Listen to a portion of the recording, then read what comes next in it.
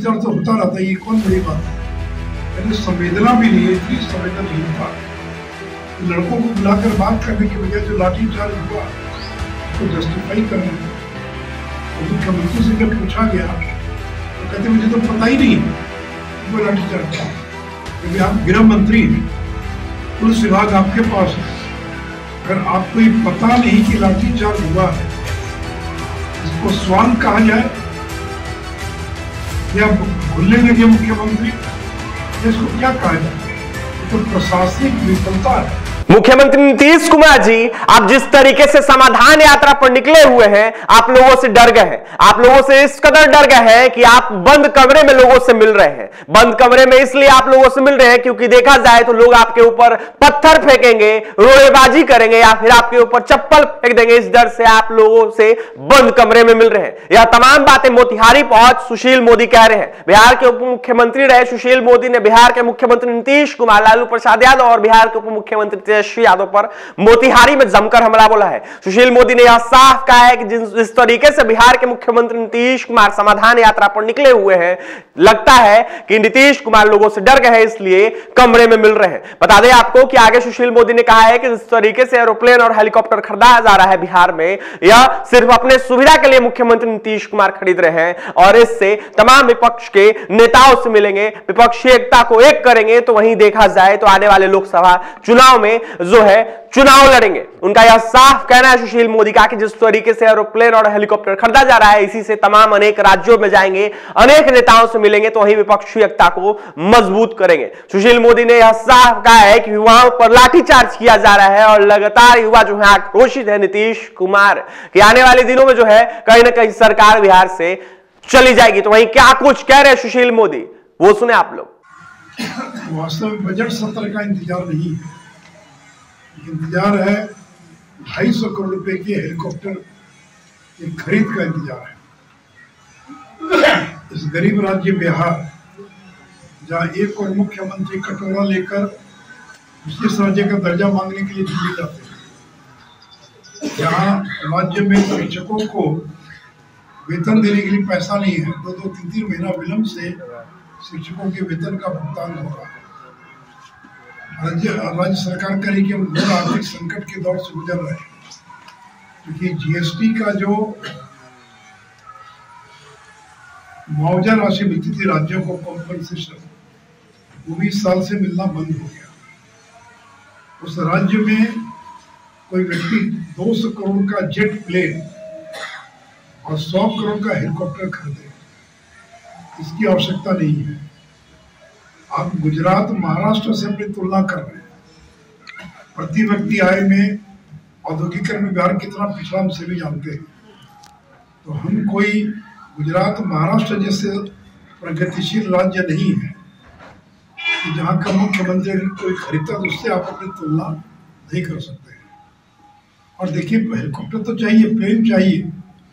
आपके पास तो पहले से प्लेन है, छह सीटर एक प्लेन है बिहार सरकार के पास उसका इस्तेमाल नहीं करते एक हेलीकॉप्टर तीन साल से बंद पड़ा केवल चार करोड़ रुपया खर्चा करके उस हेलीकॉप्टर की मरम्मत की जा सकती है।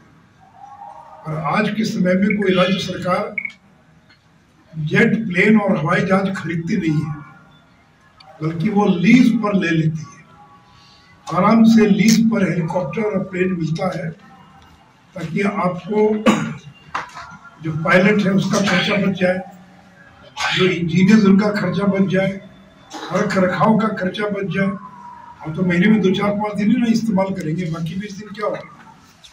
तो लीज पर यानी किराए पर मिलता है और सभी राज्य सरकारें किराए पर हेलीकॉप्टर लेकर उसका इस्तेमाल करती हैं। लेकिन मुख्यमंत्री इसको जस्टिफाई कर रहे हैं। करें कि जब ये लोग सरकार में थे तो ये लोग मांग करते थे अपना हेलीकॉप्टर होना चाहिए। हम लोगों ने कभी नहीं कहा। तो ये आप अगर अपना हवाई जहाज़ खरीदेंगे तो बिहार में उतरेगा क्या मोतिहारी उतरेगा क्या? रक्सौल उतरेगा क्या? Jet plane? बेतिया उतरेगा क्या? मुजफ्फरपुर उतरेगा? कहीं नहीं उतरेगा। केवल बिहार में जेट प्लेन तीन जगह उतर सकता है। गया, दरभंगा और पूर्णिया। जहाँ का रनवे बहुत लंबा है, बहुत बड़ा रनवे है। तो इन तीनों जगह तो हेलीकॉप्टर से जा सकते थे, छोटे प्लेन से जा सकते हैं। तो वास्तव में ये पैसा खर्च किया जा रहा ताकि मुख्यमंत्री पूरे देश का दौरा कर सके और विपक्षी दलों को एक करने का काम कर सके। लेकिन ये विपक्षी एकता जो है, ये मरे हुए घोड़े के समान मरा हुआ घोड़ा को कितना भी चाबुक मारिए उठ कर खड़ा नहीं हो सकता। विपक्षी एकता से मरे हुए घोड़े के समान कितना भी ज़ोर लगा लें उठ के खड़ा नहीं हो सकता क्योंकि हर राज्य में एक दूसरे से उनका मुकाबला और संघर्ष है। अरविंद केजरीवाल ने तो स्पष्ट कह दिया है मैं कोई समझौता किसी दल से नहीं करूँगा, अकेले चुनाव बैठा दे कांग्रेस और आम आदमी पार्टी को एक साथ, नीतीश कुमार, केसीआर जो तेलंगाना में उनकी लड़ाई कांग्रेस से कांग्रेस और केसीआर को क्या बैठा सकते एक साथ? या बंगाल के अंदर ममता बनर्जी और कांग्रेस को एक साथ बैठा सकते हैं क्या? केरल के अंदर लेफ़्ट फ्रंट और यूनाइटेड फ्रंट, दोनों के बीच की लड़ाई, एक और सीपीएम दूसरा कांग्रेस। एक साथ बैठ सकते हैं क्या? नहीं बैठ सकते। तो इसलिए जो विपक्षी एकता है, इसमें कोई किसी को प्रधानमंत्री स्वीकार करने के लिए तैयार नहीं है। और देखिए, देश की जनता कमज़ोर सरकार नहीं चाहती। देश की जनता चाहती कि मज़बूत प्रधानमंत्री, मज़बूत सरकार केंद्र में बने अन्यथा देश की हालात खराब हो जाएगी। और लोग देवगौड़ा के दौर को देख चुके हैं। एच डी देवगौड़ा बने प्रधानमंत्री। नीतीश जी जो करेगी दौरा करेगी बाकी घूमने घूमने में कौन लोग उड़ीसा में किससे जाकर मिलेंगे? या दिल्ली में किससे मिलेंगे, चार महीना तो हो गया, गए नहीं वापस झांकने के लिए, क्या हुआ दिल्ली के अंदर? तो कोई किसी को घास डालने के लिए तैयार नहीं और ये सबसे दुखद है कि तीन दिन पहले सचिवालय सहायक परीक्षार्थियों के ऊपर लाठीचार्ज हुआ पटना के भयंकर लाठीचार्ज हुआ। और जनता दल यू के जो राष्ट्रीय अध्यक्ष हैं, श्री ललन सिंह जी, वो क्या बयान दे रहे हैं? कि लाठीचार्ज तो होता रहता है, ये कौन बड़ी बात है? यानी संवेदना भी नहीं है इतनी संवेदनहीनता। लड़कों को बुलाकर बात करने के बजाय जो लाठीचार्ज हुआ, उसको जस्टिफाई कर रहे हैं। और मुख्यमंत्री से जब पूछा गया तो कहते, मुझे तो पता ही नहीं है कि कोई लाठीचार्ज अरे आप गृह मंत्री हैं, पुलिस विभाग आपके पास है। अगर आपको ये पता नहीं कि लाठीचार्ज हुआ है, इसको स्वांग कहा जाए, या भूलने लगे मुख्यमंत्री। इसको क्या कहा जाए? तो, तो प्रशासनिक विफलता है। कि सारे चैनल चला रहे लाठीचार्ज सारे अखबार रंगे हुए हैं। और मुख्यमंत्री को पता ही नहीं है। तो, तो आप गृह मंत्री हैं पुलिस विभाग आपके पास है। इसका मतलब पुलिस विभाग आपको रिपोर्ट नहीं कर रहा है। आपको जानकारी नहीं दे रहा है। ये तो बड़ी खतरनाक स्थिति है कि राज्य के मुख्यमंत्री को ये पता ही नहीं चला दो दिन के बाद भी कि कोई लाठीचार्ज हुआ है। तब तो, कोई आईएसआई का एजेंट घुस जाएगा कोई और कोई आ जाएगा कोई और बड़ी घटना अंजाम देने वाले आ जाएँगे मुख्यमंत्री कहेंगे मुझे तो पता ही नहीं है। इसलिए बहुत चिंता का विषय है। और देखिए बार बार प्रश्न पत्र लीक हो हैं बीपीएससी का प्रश्न पत्र लीक हो गया। अभी सचिवालय सहायक नौ लाख से ज़्यादा लड़के परीक्षा में बैठते हैं। और पहली पाली आपने रद्द कर दिया। तो दूसरी और तीसरी पाली क्यों नहीं रद्द करेंगे आप? जबकि लड़कों ने प्रमाण दिया है। कि सेकेंड और थर्ड और दूसरी और तीसरी पाली का भी प्रश्न पत्र लीक हुआ है। तो देखिए रेलवे परीक्षा लेता है। भारत सरकार का जो संगठन है रेलवे डेढ़ करोड़ लोग बैठते हैं परीक्षा में डेढ़ करोड़। इस यात्रा पर भी निकलेंगे। बजट सत्र के बाद। नहीं देखिए दो विषय मैंने कल कहा था आज यहाँ अखबारों में आया भी होगा।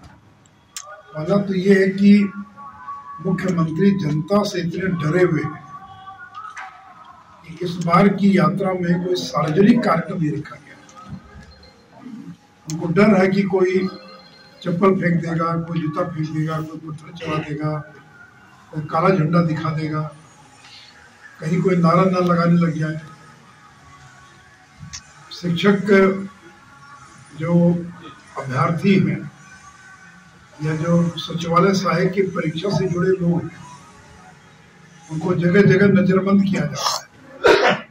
उनको घरों से जानकारी मिल रही उनको पकड़कर उनको रोक दिया जा रहा ताकि वो कहीं पहुँच नहीं जाए मुख्यमंत्री के कार्यक्रम में। तो मुख्यमंत्री जी तेरह चौदह साल के बाद भी इतने डरे हुए हैं ये बहुत आश्चर्य लगता है तो लीडर होकर उनको पब्लिक मीटिंग्स करनी चाहिए थी। कल अब लेकिन वो डरे हुए हैं और इसे बंद कमरे में रिव्यू मीटिंग कर रहे हैं। तो और कह रहे हैं कि समाधान और समस्याओं को जानने के लिए जा रहा तो इतने वर्षों तक जो व्यक्ति मुख्यमंत्री रहा, अभी तो उनको पता नहीं कि समस्या क्या है। समस्या तो दो साल, तीन साल में आदमी को पता चल जाता है कि क्या दिक्कत है, क्या कठिनाई है। और अभी प्रभु जी दिखा रहे थे जो बिहार सरकार का पत्र था और जो पत्र है सात अप्रैल दो हज़ार बाईस का, जो बिहार के मुख्य सचिव ने सभी अपर मुख्य सचिव, प्रधान सचिव सचिव लोगों को लिखा, जिला पदाधिकारी को, कि प्रशासनिक व्यवस्था को कैसे सुदृढ़ और संवेदनशील बनाया जाएगा। तो इसलिए बाकी तो लोकतंत्र में यात्रा करने का हर एक को अधिकार है। दूसरा ये कि फिर कह रहा है बजट सत्र के बाद बजट सत्र के बाद कह रहा है कि हम देश का मैं घूमने के लिए जाऊँगा देशव्यापी यात्रा करूँगा। विधायक राष्ट्रीय जनता दल का वो मुख्यमंत्री को शिखंडी कहते हैं आज एक बीजेपी ने भी इस प्रकार की गाली नहीं दी हो। शिखंडी है बेशर्म है कटोरा लेकर भीख मांगते हैं। नाइट वॉचमैन है। ऐसे ऐसे शब्दों का प्रयोग सुधाकर सिंह कर रहे और कौन सुधाकर सिंह? जगता बाबू के लड़के हैं, जो प्रदेश के अध्यक्ष हैं। अरे भाई, कोई विधायक सर का बयान देगा तो उसका इंतज़ार करने की ज़रूरत है। आप अगर चाहते तो 24 घंटे में सस्पेंड कर देते। तो कह रहे कि पिताजी के संज्ञान में ला दिया गया। तो ये देखिए, लालू यादव के इशारे पर ये गालियाँ दी जा रही है, क्योंकि ये गठबंधन जो है ये चलने वाला नहीं है। ये बेमेल गठबंधन था जो बहुत जल्द टूट जाएगा। क्योंकि लालू यादव चाहते कि उनका बेटा जल्द से जल्द बिहार का मुख्यमंत्री बन जाए। और यही तय हुआ था कि बेटा मुख्यमंत्री बनेगा नीतीश जी इस्तीफा देकर केंद्र की राजनीति करेंगे। उनको लग रहा कि केंद्र में तो कोई पूछ नहीं रहा। तो यहाँ से भी गए तो वहाँ से भी गए। न घर के रहे, न घाट के रहे। तो इसलिए वो हम 2025 तक बने रहना चाहते कह रहे हैं कि 2025 का नेतृत्व करेंगे तेजस्वी यादव। बीजेपी की सरकार बनेगी, आपको कौन तेजस्वी यादव को मुख्यमंत्री बनाएगा 2025 में? लालू को भी ये मालूम है। और इसलिए वो दबाव बना रहे हैं नीतीश कुमार पर। कि नीतीश जी इस्तीफा देकर तेजस्वी को सौंप दीजिए तो इसी प्रकार गाली खाते रहिएगा। मुझे मित्रों, बहुत दुर्भाग्य है कि बिहार की स्थिति दिन पर दिन खराब होती जा रही है और किसी को कोई मतलब नहीं यही दो चार बातें मुझे कहना था इतनी बात बोल दिए इतना ही छाप दीजिए तो पूरा पेज आपका और यह कहना कि मुझे पता नहीं है ये बहुत ही दुखद है और चिंता का विषय है। चिंता का विषय है कि राज्य के मुख्यमंत्री कहे कि मुझे पता ही नहीं। आपके राज्य में कोई बड़ी घटना घट जाए और कहें कि पता नहीं है इसलिए ज़्यादा शर्मनाक स्थिति बिहार की ओर क्या हो सकती है? तो इसलिए मित्रों पूरे बिहार के अंदर यात्रा पर यात्रा चल रही है लेकिन कोई किसी यात्रा में किसी को निमंत्रित नहीं कर रहा राहुल गांधी की यात्रा अभी यूपी पार कर गई उस यात्रा में अखिलेश यादव ने जाने से इनकार कर दिया। मायावती ने इनकार कर दिया। जयंत चौधरी खुद नहीं गए उनके दो चार पाँच कार्यकर्ता चले गए। बिहार में कांग्रेस की यात्रा निकल रही है। उसमें राष्ट्रीय जनता दल को निमंत्रण नहीं है। जनता दल यू को निमंत्रण नहीं है। और ये जो सुधाकर सिंह का पूरा प्रकरण है ये लालू यादव के इशारे पर ये बयानबाजी हो रही है। हम क्या बैठाएँगे? जाने कांग्रेस वाले हम क्या बैठाएँगे? पिछली बार भी आप बैठा लिए थे। बैठा लिए तो बार बार थोड़ी बैठा लेंगे। दो बार तीन बार हम लोग को धोखा दे दिए तीन बार। लालू जी को धोखा दे दिया और फिर पलटी मार सकते हैं। मारे पलटी जो करना हो करे। लेकिन अब बीजेपी के साथ कोई गठबंधन नहीं होगा। बीजेपी ने अपना सातों दरवाज़ा बंद कर दिया है। अब नो एंट्री कोई प्रवेश नहीं है नीतीश कुमार के लिए। ऐसा हल्ला है कि हमको फिर पलटी मार कर आपके साथ आएँगे। हल्ला आप कहाँ हल्ला है? तो नहीं सब प्रशांत किशोर के बारे में क्या ख्याल है आपका? तो कोई अब इस पर कुछ कहा जाए। जी क्या वो आएँगे वापस तो आप अपने साथ रखेंगे? जवाब तो दे दिए ना भाई। ये सातों दरवाज़ा बंद है बोले ना अभी। प्रशांत जी का जो पदयात्रा चल रहा है उसको नहीं, ठीक है उस पर क्या बोले? हर आदमी को अधिकार है देखना है। शादी की पद यात्रा क्या कैसा होता है? हमने कोई इसको फॉलो नहीं किया सर उस पर कोई टिकट टिप्पणी और नहीं करना पिछला नगर निगम चुनाव में देखा गया भारतीय रेलवे सवा करोड़, डेढ़ करोड़ छात्रों की परीक्षा ले सकती है। बिना क्वेश्चन पेपर आउट है तो आप नौ लाख की परीक्षा नहीं ले सकती। आप तो नौ लाख लड़के थे। यूपीएससी का एग्ज़ाम होता, लाखों लड़के बैठते हैं। बैंकिंग बोर्ड का एग्ज़ाम होता है, हज़ारों, लाखों लड़के बैठते हैं। तो मैं बिहार सरकार को सुझाव देना चाहूँगा कि कंप्यूटर बेस्ड परीक्षा लेना चाहिए। जैसे रेलवे की जो परीक्षा होती है, वो कंप्यूटर पर बैठकर ऑब्जेक्टिव प्रश्न पूछे जाते हैं। तो कोई आप आई की परीक्षा नहीं डाल रहे तो ये तो कंप्यूटर आधारित परीक्षा होनी चाहिए, ताकि क्वेश्चन पेपर लीक होने की कोई गुंजाइश नहीं। नहीं तो आए दिन प्रश्न पत्र लीक हो रहे हैं। अब परिणाम ये हो रहा कि बेचारा लड़का आठ साल के बाद तो वैकेंसी निकली। आठ साल तो आपने सुन लिया क्या कुछ कहते सुशील मोदी बिहार के पूर्व उप मुख्यमंत्री रहे हैं, राज्यसभा सांसद है। सुशील मोदी का यह साफ़ कहना है कि मुख्यमंत्री नीतीश कुमार डर गए हैं। इसलिए बंद कमरे में लोगों से मिल रहे हैं। और इसलिए बंद कमरे में लोगों से मिल रहे क्योंकि देखा जाए तो नीतीश कुमार के ऊपर जो है लाठी चार्ज कर दिया जाएगा। देखा जाए तो पत्थर फेंक दिया जाएगा, चप्पल फेंक दिया जाएगा। जनता उनसे कहीं ना कहीं क्रोधित है, परेशान है, गुस्सा है। इसलिए नीतीश कुमार डर के मारे बंद कमरे में लोगों से मिल रहे हैं। तो फ़िलहाल सुशील मोदी का क्या कुछ कहना था? आपने सुना है। और भी तमाम खबरों के लिए एनबीसी ट्वेंटी के साथ बने रहे। बहुत बहुत धन्यवाद।